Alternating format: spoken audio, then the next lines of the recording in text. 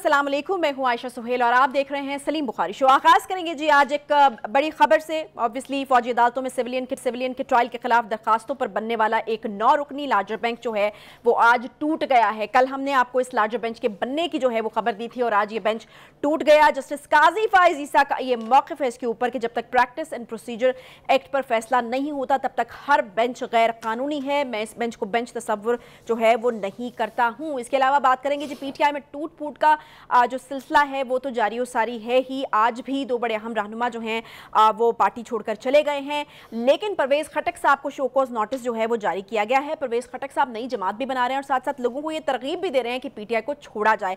تو انہیں شوکوز نوٹس جو ہے، وہ دے دیا گیا ہے۔ ساتھ ساتھ اسد عمر صاحب کو بھی اپنی جماعت میں لینے کے خواہش مند ہیں۔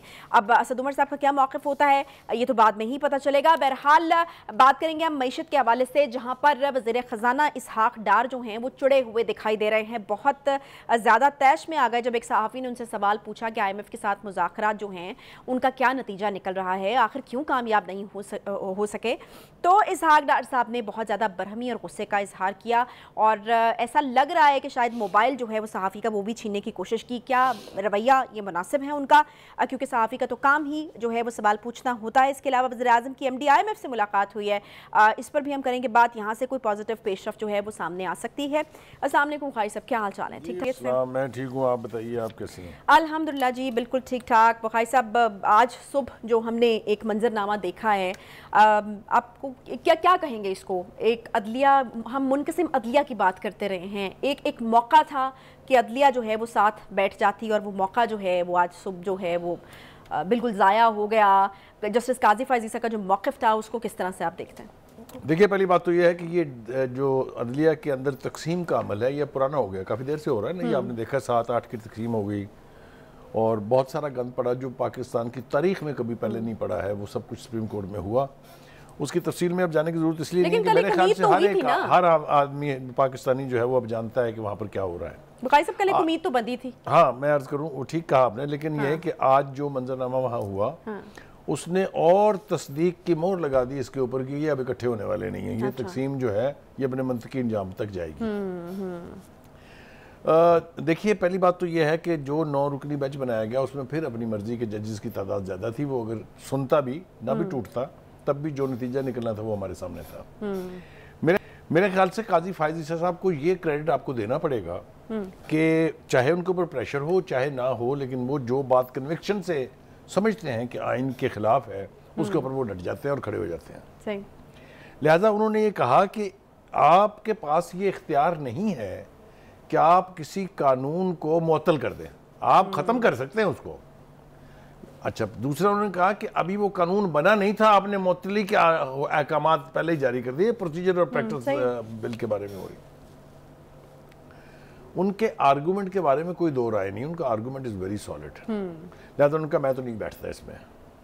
اس بینچ میں میں نہیں بیٹھتا جو نو رکنی آپ نے بنایا جو ہی انہوں نے یہ کہا دوسرے ایک جج صاحب طارق صاحب جو ابھی کھڑے ہو گئے ان کا جی میں بھی نہیں بیٹھتا۔ میں تائید کرتا ہوں جو یہ کہہ رہے ہیں۔ لہٰذا بینچ ٹوٹ گیا تھوڑی دیر کے لیے وہ واپس چلے گئے سارے اٹھ کے۔ اس کے بعد انہوں نے پھر وہی حرکت کی جو پچھلی دفعہ کی تھی۔ آپ کو یاد ہے؟ اس کا بھی نو رکنی بینچ تھا۔ اس میں سے بھی دو پہلے ہٹے تھے پھر دو بعد میں ہٹ گئے پھر تین دو کا سپلٹ ججمنٹ آ گیا وغیرہ وغیرہ وہی آج ہوا۔ آج پھر انہوں نے دونوں ججوں کو نکال دیا اور ساتھ انہوں کی بینچ لے کے بیٹھ گئے سننے کے لیے۔ لیکن بخاری صاحب اس کی اس کی وضاحت تو پہلے قاضی فائز عیسیٰ صاحب کر چکے تھے۔ وہ انہوں نے کہا تھا کہ جب تک یہ نہیں ہوتا جو آج انہوں نے موقف دیا تب تک وہ نہیں جو ہے وہ کسی بینچ کا حصہ بنیں گے۔ کریکٹ بالکل ٹھیک بات ہے۔ دیکھیے اصولی طور پر آئینی اعتبار سے اور ایون روایتن اس کا فیصلہ ہونا چاہیے پہلے اس سے کہ اگلا بینچ بنے۔ بینچوں کی تشکیل کے بارے میں ہی تو ہے وہ سارا۔ ہاں، اور وہی حرکت ہوئی جو پہلے ہوئی تھی۔ اب آپ کو اس کو سسپینڈ کرنے کی وجہ سمجھ آ گئی؟ صحیح۔ اچھا۔ یہ تو ایک آسپیکٹ ہے اس کا۔ قاضی فائز عیسیٰ صاحب کی پوزیشن جو ہے وہ بالکل سٹیٹڈ ہے۔ اس کے اوپر بہت سارے جو قانونی لوگ یعنی ماہرین ہیں ان کے ریمارکس ہم نے سنے ہیں۔ عرفان قادر نے بہت امپورٹنٹ کہا۔ اس نے کہا جو قاضی فائز عیسیٰ نے کیا ہے this is absolutely perfectly in line with the constitutional provision انہوں نے کوئی انکانسٹیٹیوشنل ایکٹ نہیں کیا اور انہوں نے کہا کہ جس بات پر سٹینڈ لیا ہے قاضی فائز عیسیٰ نے اس کے مطابق یہ بینچ جو تشکیل پایا ہے یہ اللیگل ہے یہ نہیں ہونا چاہیے یہ نہیں بننا چاہیے یہ انہوں نے کیٹیگوریکلی کہہ دیا اب ہم نے دیکھنا یہ ہے کہ یہ کرنے کیا بیٹھے ہیں جو دو پٹیشنر ہیں جناب کھوسا صاحب اور جناب اعتزاز حسن صاحب، ان دو سے میں ایک سوال پوچھنا چاہتا ہوں کہ بھائی صاحب، آپ کا جنم ہوا پاکستان پیپلز پارٹی میں، ہوا نا؟ آپ کے لیڈر کو پھانسی چڑھا دیا، اس کے خلاف ایجیٹیشن ہوا، اس کے بعد ملٹری کورٹس نے سزائیں دی لوگوں کو جیلوں کو، جیلوں میں سڑے وہ، کوئی مچ گیا، کوئی میاں والی گیا، کوئی جنگ گیا، تب آپ کی غیرت اور حمیت کہاں تھی؟ تب آپ کو کیوں تکلیف نہیں ہوئی کہ ملٹری کورٹس میں کیوں ٹرائل ہو رہا ہے سیویلینز کا؟ آپ عجیب لوگ ہیں۔ ایک بندے کے کی پروٹیکشن کے لیے جس کے بارے میں خطرہ ہے کہ شاید اس کو بھی ملٹری کورٹ میں جانا پڑے۔ آپ کی ساری غیرت جاگ گئی، آپ کا آپ کا ضمیر جاگ گیا، آپ کی فنی ماہریت جاگ گئی اور آپ تڑپ رہے ہیں مچھلی کی طرح سے، بالکل جس طرح مچھلی تڑپتی ہے پانی کے باہر۔ تو ایک تو مجھے اس کا جواب ان سے چاہیے کہ یہ آپ اچانک کیوں پھڑک اٹھے ہیں اس کے اوپر؟ اور دوسری بات چیف جسٹس صاحب کے اوپر بھی اسپرشنز کاسٹ ہو رہی ہیں۔ اور اس کا اظہار جو ہے قاضی فائز عیسیٰ صاحب نے کر دیا۔ اس نے کہا پہلی پٹیشن جو اس حوالے سے آئی تھی وہ تھی عمران خان صاحب نیازی صاحب کی۔ صحیح۔ دوسری پٹیشن کسی ایک شہری کی تھی۔ تیسری اور چوتھی یہ ان کی تھی جس کے اوپر یہ ٹرائل ہو رہا ہے۔ تو یہ اچانک جو نمبر ون ہے وہ چار کیسے ہو گئی اور نمبر چار جو ہے وہ ون کیسے ہو وہ بالکل اپ سائڈ ڈاؤن اب وہ ہمیں پتہ چل رہا ہے کہ وہ کیسے ہوئی کیونکہ ایک رات پہلے جناب کھوسا صاحب اور جناب اعزاز حسن صاحب چیف جسٹس صاحب سے ملے تھے ان کے چیمبر میں۔ اچھا۔ تو یہ ہو کیا رہا ہے؟ یہ انصاف کے اداروں کا حال ہے۔ Is this what you call justice? لہٰذا وہ اپنی وفا نبھانے میں آخری حدود کو پہلے بھی چھو رہے تھے اور اب اپنی آخری حدود بھی پار کر رہے ہیں۔ اچھا اقائی صاحب اس چیز میں کتنی صداقت ہے کہ یہ جو قاضی فائزی صاحب جیسا کہ میں نے آپ سے سوال کیا تھا کہ پہلے وضاحت دے چکے تھے کہ وہ جو ہیں وہ کسی بینچ کا حصہ اس طرح سے نہیں بنیں گے۔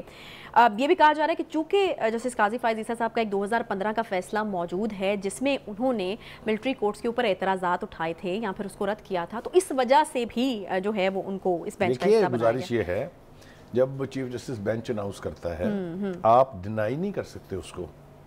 جو ڈسپلن ہے اچھا۔ آپ بیٹھیں گے ضرور جب پروسیڈنگ شروع ہوگی تو آپ اپنی رائے کا اظہار کر دیں گے۔ اچھا۔ تو اس لیے ان کا آنا تو ہمیں سمجھ میں آتا ہے۔ لیکن میرے خیال سے اس سے پہلے کہ ہم آگے جائیں ذرا تھوڑا سا ملٹری کورٹس کی ہسٹری کو ذرا ریکال کر لیں تو ہمارے ناظرین جو ہے وہ بڑی آسانی سے سمجھ پائیں گے۔ Military court Pakistan army act nineteen fifty two کے تحت تشکیل پائی تھی جی پہلی دفعہ۔ تو یہ کوئی خاص کسی بندے کو ٹارگٹ کرنے کے لیے نہیں بنی ہے۔ اچھا۔ کب بنی تھی یہ؟ نائنٹین ففٹی ٹو میں پاکستان آرمی ایکٹ کے تحت۔ ٹھیک ہو گیا جی؟ اس اور اس میں پروویژن یہ تھی کہ جو فوجی کوئی ایکٹ ایسا کرے یا کوئی دشمن فوج کا بندہ کوئی ایسا ایکٹ کرے ان کو ٹرائی کیا جائے گا۔ لیکن پھر اس میں یہ پروویژن بھی رکھی گئی کہ اگر وفاقی حکومت کچھ سویلین کو ریفر کر دے کہ ان کا ٹرائل بھی یہاں کرے تو وہ کوٹ کرے کرنے کی مجاز ہوگی۔ اچھا۔ ٹھیک ہو گیا؟ اب ہم دیکھتے ہیں کہ اس کی اس کو پریکٹیکلی استعمال کب کیا گیا؟ وہ کیا گیا جناب ذوالفقار علی بھٹو صاحب کی طرف سے۔ جب انہوں نے نائنٹین سیونٹی سیون کا الیکشن ہوا اور اس میں وائلنس شروع ہو گئی law and order situation create ہو گئی تو انہوں نے سمری ملٹری کورٹس تشکیل دی۔ اچھا۔ ٹھیک ہے؟ اور اس میں لوگوں کا ٹرائل ہوا۔ اس کے بعد پھر یہ اکیسویں ترمیم کے ذریعے پاکستان کے کانسٹیٹیوشن کا حصہ بن گئی۔ اب ایک بات تو یہ طے ہو گئی ہے کہ یہ کسی ایک سیگمنٹ آف سوسائٹی یا کسی پرٹیکولر پولیٹیکل لیڈر کو ٹارگٹ کرنے کے لیے نہیں ہے۔ سال ہا سال پہلے سے موجود ہے۔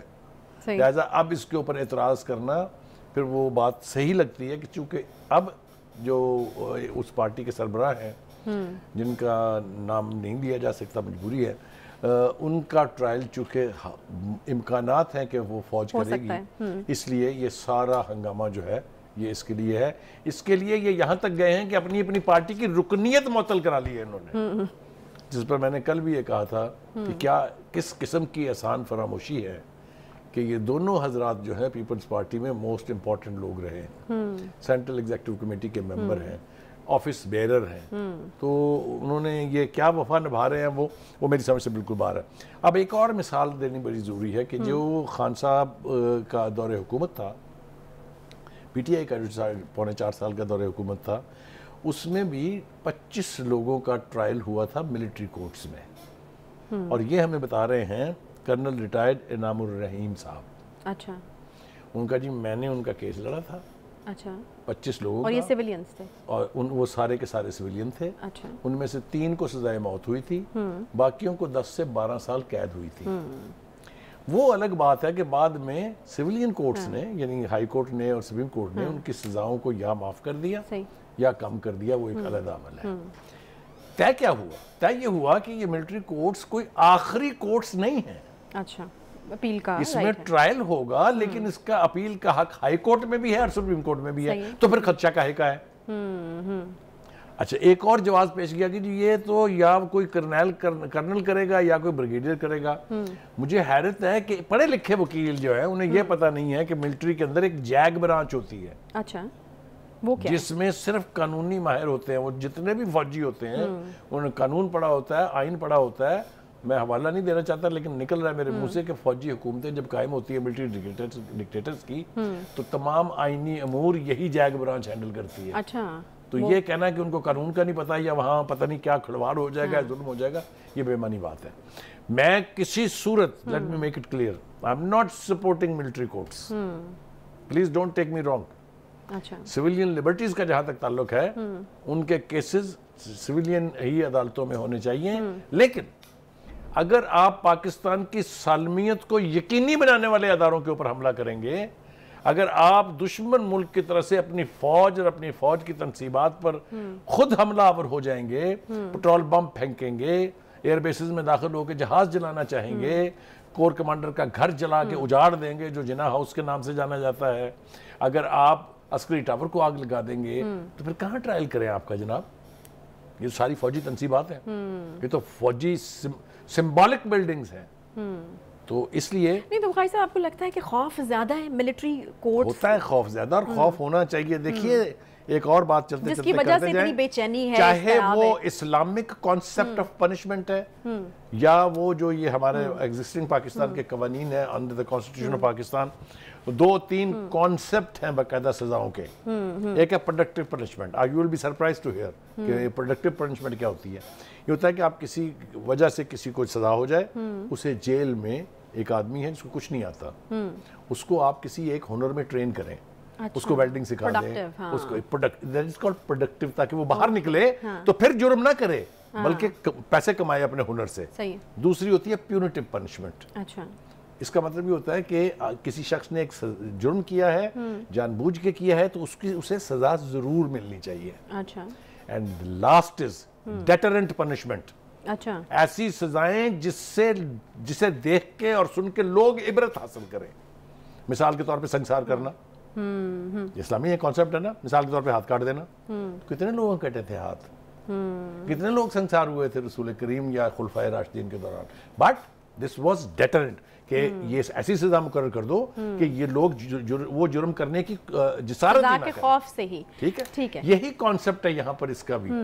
لیکن جن لوگوں نے ایک پلان کے تحت ذمہ داری سے کہہ رہا ہوں میں سول ملٹری کو کرنے کی کوشش کی یہاں ان کے ساتھ there should be no sympathy صحیح۔ That should not be allowed under any circumstance Baqai sahab let's assume کہ یہ جو پٹیشنرز ہیں یہ جو چاہتے ہیں کہ ان کے حق میں فار انسٹنس کہ اگر ان کے حق میں فیصلہ آ جاتا ہے یا جو ہے یہ جو آرمی کورٹس ہیں ان کو غیر قانونی قرار دے دیا جاتا ہے تو جن سزائیں ہو چکی ہیں پھر ان کے حوالے سے ایک نیا مسئلہ سر اٹھا لے گا۔ تو پھر ہم ایک اور مسئلے میں مجھے لگتا ہے کہ وہ جو ہے ہم دیکھیں آپ بڑی عقل کی اور بڑی دانش کی بات کر رہی ہیں لیٹ می کمپلیمنٹ یو دیکھیں گزارش یہ ہے جو چیزیں آئین کے تحت تشکیل پاتی ہیں یا آئین کا حصہ بن جاتی ہیں ان کو اس طرح سے بازاروں میں اٹھا کے پھینک نہیں دیا جاتا۔ اس کے لیے آپ کو basically to undo such a law which is part of the constitution you have to go back to the parliament اس کے اوپر امینڈمنٹ آئے گی۔ اگر عدالتیں یوں اٹھا اٹھا کے قانون پھینکنے لگ گئیں تو بس پھر پارلیمنٹ کی ضرورت ہی نہیں ہے۔ پھر جو وہ فیصلہ دیں وہی قانون ہونا چاہیے۔ تو یہ توڑا لا جو ہے نا چنگیز خان کے دور کا یہ نہیں چل سکتا اب یعنی جو ماڈرن سول سوسائٹیز ہیں ان کے اندر ایک آئین ہوتا ہے اس آئین کے تحت قوانین بنتے ہیں ان قوانین کے اوپر عمل ہونا ہوتا ہے۔ اگر آپ نہ کریں تو سزا ہوتی صحیح ہے یعنی ایک ڈومین ہوتی ہے اس کے اندر سے آپ باہر نہیں نکل سکتے۔ جب جب تک یہ پارلیمنٹ سے قانون جو ہے وہ چینج نہ ایک چھوٹا سا یہاں پہ بریک لیتے ہیں۔ جی بریک کے بعد واپس آئیں گے ساتھ رہیے۔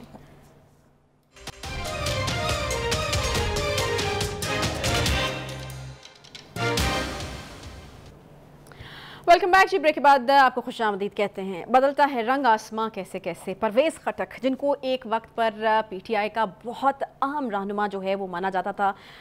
خیبر پختونخوا جو ہے وہ بالکل اپنے کاندھوں پر اٹھائے ہوئے ہوتے تھے اور ساری ذمہ داری جو ہے وہ ان کی ہوتی تھی۔ اور جو ہے پی ٹی آئی جو ہے وہ خیبر پختونخوا میں راج ہی شاید جو ہے وہ ان کے سر پر کر رہی تھی۔ لیکن انہی پرویز خٹک کو پی ٹی آئی کی جانب سے شو کاز نوٹس جو ہے وہ جاری کر دیا گیا ہے۔ بخاری صاحب، یہ بھی ایک بڑی ڈیولپمنٹ کے طور پر بات سامنے آ رہی ہے اور کہا یہ بھی جا رہا ہے کہ پرویز خٹک صاحب جو ہیں جن جو ان کی طرف سے بھی کہا گیا کہ وہ اپنی پارٹی جو ہے وہ اب الگ بنائیں گے۔ دیکھیے اس کا اظہار تو انہوں نے آٹھ جون کو کر دیا تھا۔ آٹھ جون کو باقاعدہ انہوں نے ہاں۔ کہا تھا کہ میں اپنی پارٹی بناؤں گا اور یہ بھی دعویٰ کیا جا رہا ہے ان کے حلقوں کی طرف سے کہ پچاس کے قریب ایم این اے اور ایم پی ایز ان کے ساتھ ہیں۔ اچھا بڑی تو یہ بہت بڑا سیگمنٹ ہے ایک ہاں۔ وہاں کا۔ اس کے بارے میں کوئی دو رائے نہیں ہے کہ ہاں۔ کے پی کے میں ان کا بہت اثر رسوخ ہے۔ پہلی حکومت بھی انہی کی وجہ سے بنی تھی حالانکہ بہت بڑے چیلنجز تھے جے یو آئی اور پاکستان مسلم لیگ نون اگر اکٹھے ہو جاتے تو شاید پی ٹی آئی کو وہ سپیس نہیں ملتی سپیس ہی نہ ملتی۔ اس وقت بھی انہوں نے ساتھ دیا تھا۔ دوسری دفعہ بھی بہت کم روایت ہے تاریخ میں ایسی روایت نہیں ہے کہ ایک ہی پارٹی کو کنسسٹنٹلی دوسری دفعہ لوگوں نے ووٹ دیا ہو کے پی کے میں۔ لیکن وہ اس کا بھی کریڈٹ آپ کو خان صاحب اپنے صاحب کو۔ دینا پڑے گا۔ مگر خان صاحب کو کبھی بھی ایک سٹرونگ چیف منسٹر نہیں چاہیے تھا نہ کے پی کے میں نہ پنجاب میں۔ لہذا قرآ فال کس کے نام نکلا؟ ایک بزدار صاحب اور دوسرے محمود خان صاحب۔ دونوں آپ کو پتا یسمین یسمین بھی بہت میرا خیال ہے اس کی بھی تھوڑی بہت ہی غیرت اور عزت ہوتی ہے یا اس کا کوئی سٹانس ہوتا ہے ان کا تو بالکل نہیں تھا۔ جو فرما دیا جاتا تھا پارٹی کے چیف کی طرف سے وہ وہ کرنے دوڑ جاتے تھے۔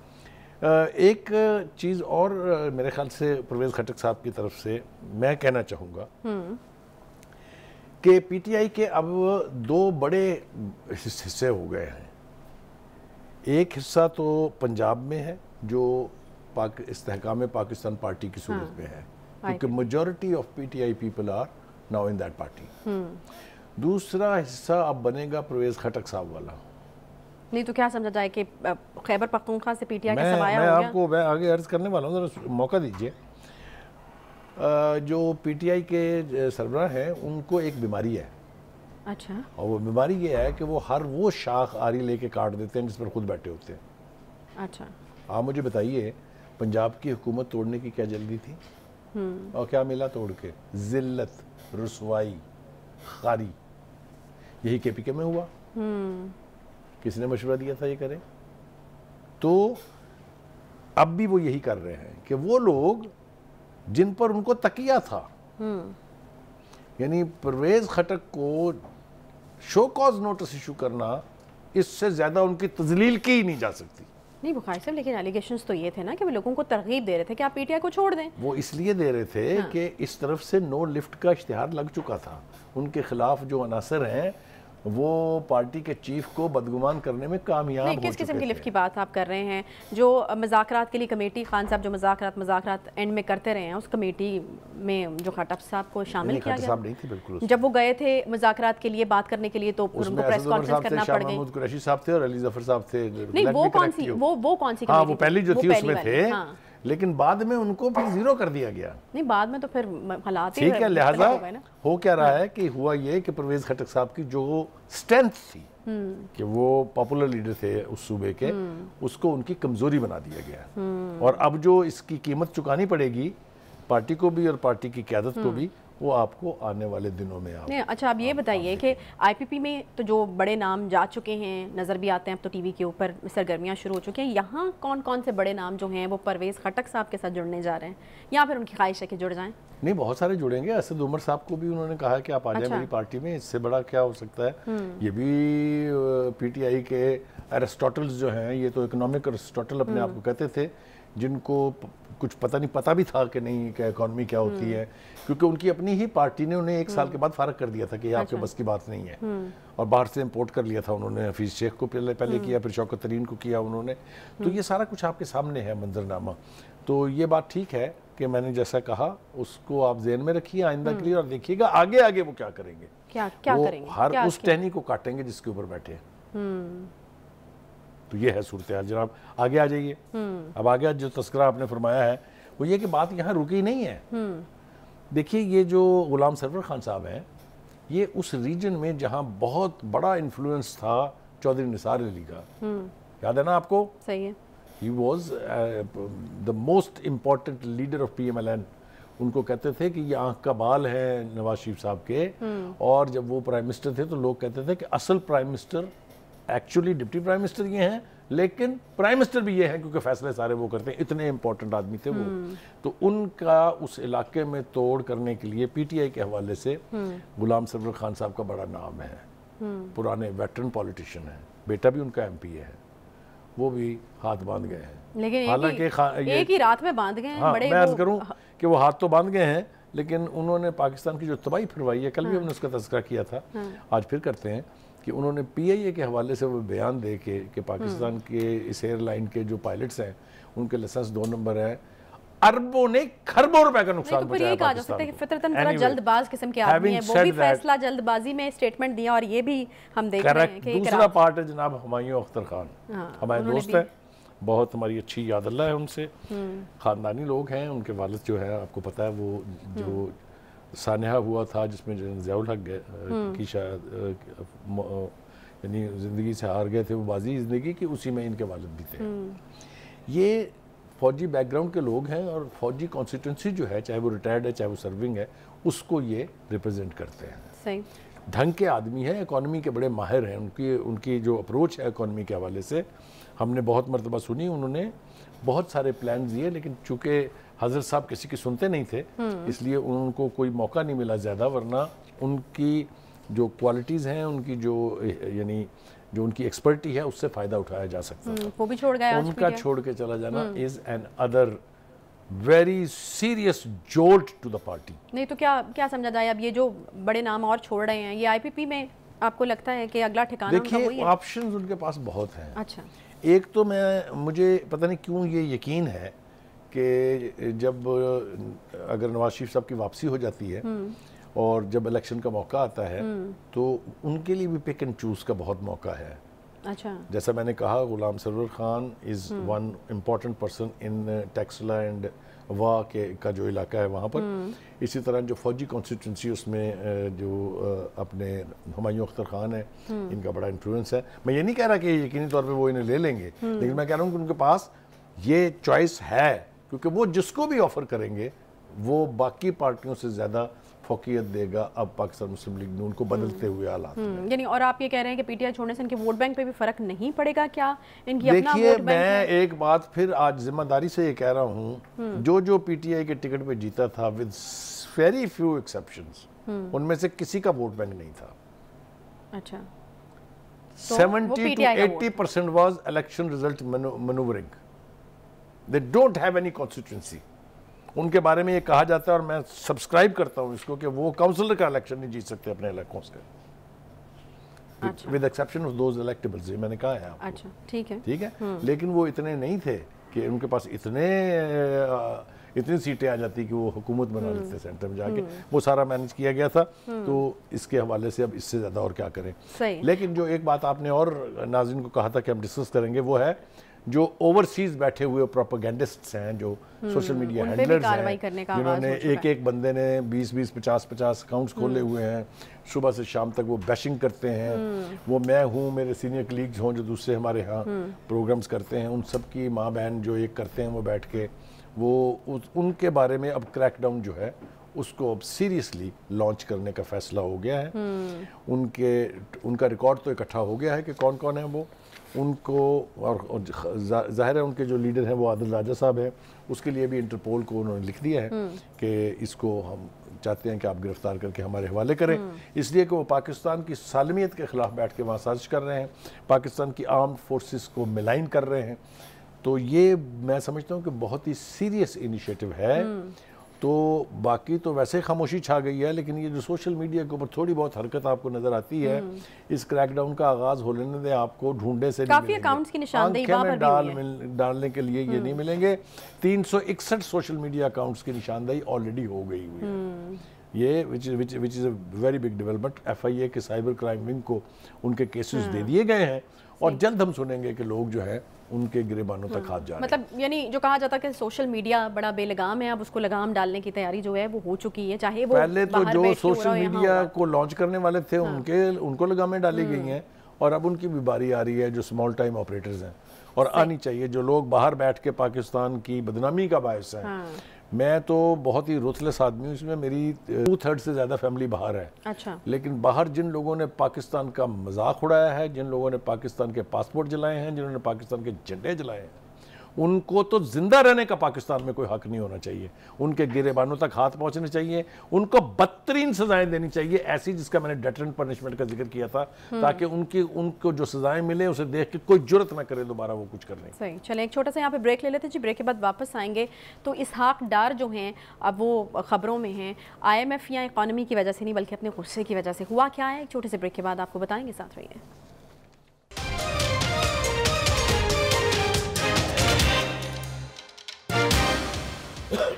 ویلکم بیک شی بریک کے بعد ایک بار پھر سے خوش آمدید کہتے ہیں، آئی ایم ایف سے مذاکرات کیوں کامیاب نہیں ہو رہے یا کب تک کامیاب جو ہیں وہ ہو جائیں گے؟ بڑا بڑا سمپل سا سوال تھا جو کہ ایک صحافی کی جانب سے کیا گیا، وزیر خزانہ اسحاق ڈار سے۔ لیکن انہوں نے اتنا ریئیکشن اس کے اوپر دیا جس کی سمجھ نہیں آ سکی کہ آخر وہ ریئیکشن دیا کیوں گیا ہے۔ بخاری صاحب، یہ سوال اگر آپ وزیر خزانہ سے نہیں کریں گے، جو آئی ایم ایف کے ساتھ ڈائریکٹلی ڈیل کر رہے ہیں، تو پھر کس سے کیا جائے گا؟ آپ کو لگتا ہے کہ یہ جو یہ جو ریئیکشن ان کی طرف سے دیا گیا ہے یہ یہ مناسب رویہ ہے کیا؟ نہیں نہیں، بالکل مناسب رویہ نہیں ہے اور نہیں ہونا چاہیے تھا۔ لیکن میں آپ کو ایک تھوڑی سی بیک گراؤنڈ دینا چاہتا ہوں وہ یہ کہ آئی ایم کے آئی ایم ایف کے حوالے سے چونکہ ہم نے بھی اپنے پروگرام میں کہا تھا جب ہمیں پتہ چلا کہ ساگ ڈار صاحب واپس آ رہے ہیں تو ہمارا خیال یہ تھا کہ کوئی نہ کوئی جادو کی چھڑی ان کے پاس ہے وہ آئیں گے ایسے ایسے لہرائیں گے اور سارا کچھ ٹھیک ہو جائے گا۔ وہ نہیں ہوا۔ آئی ایم ایف کے ساتھ اور پھر ہمیں یہ بھی بتایا گیا کہ وہ ایکسپرٹ ہیں آئی ایم ایف کے ساتھ ڈیل کرنے کے۔ لیکن وہ اٹ از ناٹ ورکنگ تو ایک آدمی جس سے توقعات کا لیول آسمان پہ ہو جس کے اپنی ذات کے بارے میں بھی دعوے ہوں کہ ہاں جی میں جانتا ہوں how to deal with I M F وہ جب نہ ہو رہا ہو تو وہ اریٹیٹ تو ضرور ہو جاتا ہے۔ یہ آپ اس کو ہیومن مارجن دیں۔ اچھا۔ اور یہ سوال جہاں وہ جہاں وہ جاتے ہیں جس پریس کانفرنس میں بیٹھتے ہیں ان سے پوچھا جاتا ہے۔ پہلا سوال کہ ہاں جی آئی ایم ایف بتائیں کتنا مارجن دیا ہے؟ کیونکہ صحافی تو یہ دعویٰ کر رہا ہے کہ مجھے تھپڑ لگایا انہوں نے اور موبائل چھیننے کی کوشش کی۔ تھپڑ نہیں لگایا انہوں نے۔ نے دعویٰ یہ ہے سٹاف سے یہ کہا کہ یار ان کا موبائل جو ہے وہ غالباً ان کا خیال یہ ہوگا کہ یہ سارا کچھ ریکارڈ کر رہا تھا۔ اور چونکہ انہوں نے تھوڑا سا لہجہ استعمال کیا یہ تھا کہ یہ کہیں وائرل نہ ہو جائے۔ اینی وے دیکھیے بات یہ ہے کہ آئی ایم ایف کے ساتھ ہماری جو محبت چل رہی ہے اس میں قصور اسحاق ڈار صاحب کا نہیں ہے۔ ان اس کی لگامیں جو کھینچ رہے ہیں وہ بیٹھے ہیں یا واشنگٹن میں یا لندن میں۔ آپ سمجھ نہیں میری بات کہ نہیں؟ یا ایلسویئر جہاں بھی ہیں وہ۔ وہ لوگ ہیں۔ جو نہیں چاہتے کہ پاکستان ترقی کرے جو نہیں چاہتے کہ سی پیک جو ہے وہ انٹیکٹ رہے. جن کا یہ گمان ہے جن کو غلط فہمی ہے یہ غلط فہمی کہہ لیں یا ان کو ڈر ہے یہ کہ ہم روس اور چین کے بلاک میں جا رہے ہیں وہ لوگ نہیں چاہتے کہ پاکستان اکنومکلی سٹیبل ہو جائے. لہٰذا آئی ایم ایف سے ابھی ہمیں اور رولا پڑے گا. اچھا. جو ملاقات ہوئی ہے فرانس میں پیرس میں پرائم منسٹر صاحب کی M D I M F سے۔ وہ بظاہر اگر باڈی لینگویج پر آپ جائیں تو وہ وہ بڑا مسکرا مسکرا کے جواب دے رہی ہیں۔ تو ایسا نہیں ہے کہ کوئی بٹرنس کا ایلیمنٹ تھا یا وہ کہہ رہی ہیں کہ نہیں جی ہم تو کچھ نہیں کر سکتے ہیں۔ اس نے یہ بھی نہیں کہا کہ لے جاؤ تم آئی ایم ایف کے وہی بیچ میں لٹکے میں کچھ بھی نہیں ہوئی ہے بات۔ لیکن اسی قسم کے انٹریکشن کے بعد پھر چیزیں ڈیولپ ہوتی ہیں۔ تو یہ توقع رکھنی چاہیے۔ ابھی کچھ چھ سات دن باقی ہیں۔ توقع رکھنی چاہیے کہ یہ تھرو ہو جائے گا۔ اچھا۔ اس لیے کہ ہم جتنے ہمارے دوست ممالک ہیں ہم نے ان سے بھی کہا ہے کہ اپنا انفلوئنس استعمال کرے آپ نے دیکھا وہاں پر جو ان کی ملاقات ہوئی پرنس جو ہے سلمان محمد بن سلمان ان سے اس میں بھی باڈی لینگویج آپ نے دیکھی کتنی وارم ہے۔ پھر وہ فرانس کے صدر سے ملے ہیں اس میں بھی۔ تو مطلب یہ ہے کہ اس طرح کے جو ڈپلومیٹک انٹریکشنز ہوتے ہیں at that level at the highest level ان کے نتائج ضرور نکلتے ہیں۔ میں یہ آپ کو اپنے تجربے کی بنیاد پہ کہہ رہا ہوں کہ یہ ملاقاتیں پہلے سے طے ہوتی ہیں یہ اچانک نہیں ہوتی۔ ان کے ایجنڈاز بھی ایک دوسرے کے ساتھ ایکسچینج ہوئے ہوئے ہوتے ہیں۔ سمجھ رہی ہیں آپ میری بات کے نہیں؟ یہ ملاقات سڈن نہیں ہوئی ایم ڈی آئی ایم سے پہلے سے طے تھی۔ اور یہ اس کی آؤٹ کم جب پرائم منسٹر صاحب واپس آئیں گے وہ بتائیں گے یقینی طور پہ۔ مجھے پتہ نہیں یعنی آپ کہنے کی کوشش کر رہے ہیں اب اتنا زچ نہ کیا جائے ساگ ڈار صاحب کو بار بار ایک ہی سوال کر کے آئی ایف کے نام پہ وہ تپ گیا آج تو۔ ان کی ہم نے چھیڑ بنا دی چیزیں چل رہی ہیں۔ لیکن ہو رہی ہے جس بات کی مجھے خوشی ہے اور وہ پھر میں آج دوبارہ شیئر کرنا چاہتا ہوں اپنے ناظرین سے وہ یہ ہے کہ ہم اب سارے انڈے جو ہیں وہ آئی ایم ایف کی ٹوکری میں رکھ کے نہیں بیٹھے ہیں۔ صحیح۔ کیونکہ اس کا کبھی فائدہ ہوا ہی نہیں ہے۔ ہم نے دوسرے آپشنز ایکسپلور کرنا شروع کیے ہیں۔ جو نیا اکنامک پلان بنا ہے جس میں اقتصادی بحالی کا قومی پلان جو ہے وزیر اعظم اور آرمی چیف مل کر منصوبے کو لیڈ کریں گے۔ سرمایہ کاروں کو پھر فوج کے چیف کی طرف سے یہ گارنٹی دی گئی ہے کہ آپ انویسٹمنٹ کریں that will be fully protected یہ بہت بڑی بات ہے۔ پچھلے پچھلے ٹریور میں بھی کوئی اگر چھوٹی موٹی کوئی کامیابی تھی نا اکانومی پلان کی تو اس کا سارا کریڈٹ جنرل باجوہ کا تھا۔ لیٹ اس بی آنسٹ وہی جا کے تین دفعہ پیسے لے کے آئے سعودی عرب سے چائنا سے یو اے ای سے وغیرہ وغیرہ۔ دوسری بات یہ ہے کہ وزیر مملکت جو ہے ہمارے مصدق ملک صاحب۔ انہوں نے آج پھر یہ کہا ہے کہ بہت سارے دوست جو ہیں گلف سٹیٹس میں وہ پاکستان میں ریفائنری میں انویسٹ کرنا چاہتے ہیں which is again a very very hopeful thing کیونکہ رشیا کا آئل اگر آ رہا ہے تو نئی ریفائنری جو ہم لگائیں گے اس میں کیپیسٹی ہوگی اس کو ریفائن کرنے کی تو ہمیں وہ ایک وایا میڈیا اختیار کرنے کی ضرورت پیش نہیں آئے گی۔ ٹھیک ہے۔ All said and done to conclude I can say کہ وہ کہتے ہیں نا کہ مین پرپوزز گاڈ ڈسپوزز اللہ تعالیٰ نے کوئی نہ کوئی راستہ پاکستان کی اکنامک بہتری کے لیے رکھا ہوا ہے اور یہ بہتر ہو گئے اینڈ آن دس فل اور پازیٹیو نوٹ میرا خیال ہے یہاں پر پروگرام کا وقت جو ہے وہ ختم ہوتا ہے۔ انشاءاللہ آپ سے اگلے ہفتے ملاقات ہوگی۔ تب تک کے لیے خیال رکھیں اپنا۔ اللہ حافظ۔